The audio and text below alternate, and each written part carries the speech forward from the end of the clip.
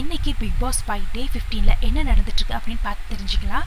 எல்லாருமே ஒரு வழியாக எந்திரிச்சு நல்லா குதிச்சு டான்ஸ் ஆடிட்டு குட் மார்னிங் பிக் பாஸ் அப்படின்னு சொல்லிட்டு அவங்க டே ஆரம்பிச்சிட்டாங்க. எல்லாம் ரெஃப்ரெஷ்டாக ஆகிருக்க இந்த நேரத்தில் பாவனியும் அபிஷேக்கும் பேசிகிட்டு இருக்காங்க.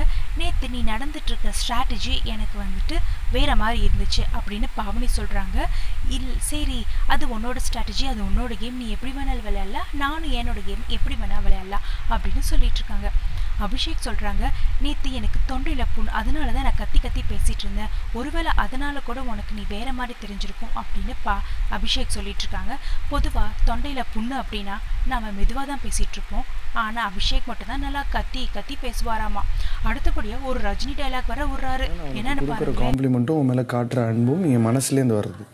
இங்கேருந்து வர்றது இல்லை. போர் வழியா அபிஷேக் ரஜினி டைலாக்லாம் முடிச்சுட்டு திரும்பவும் சொல்றாரு என்னால எக்ஸ்பிளைன் பண்ண முடியல எனக்கு தொண்டையில புண்ணு அப்படின்ட்டு ராவணியை தடவி தடவி கட்டி பிடிச்சி பேசிட்டு இருக்காரு நம்ம அபிஷேக்.